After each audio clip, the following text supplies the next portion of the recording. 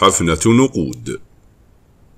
سر الشيخ العجوز هذا الصباح لما زاره أحد أقاربه وتذكره في هذه الأيام التي يعاني فيها الوحدة والشيخوخة.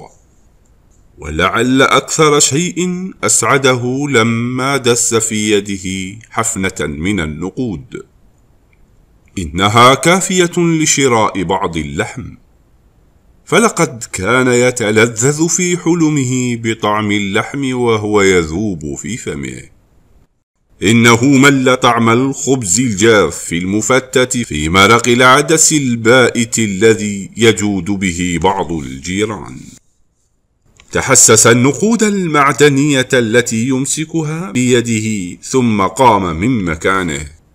حلق لحيته اغتسل جيدا بعدها. لبس أحسن ما عنده وخرج. كان يشعر بانتعاش وخفة لم يشعر بها منذ مدة. اهتدى إلى محل كبير. قرأ ثمن اللحم فوجده مرتفعا جدا فاشترى بكل ما لديه رطلا واتجه إلى بيته وهو يجري من الفرح ونفاذ الصبر.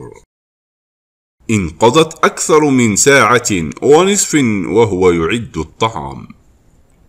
كانت روائح اللحم المشوي تنتشر في كل مكان. ولما حضره ووضعه على المائدة تذكر جارته العجوز المسكينة فلم يطب له الأكل حتى دعاها لتشاركه إياه. ثم تذكر جاره الذي يقاسمه طعامه القليل دائما ولم يبخل عليه يوما.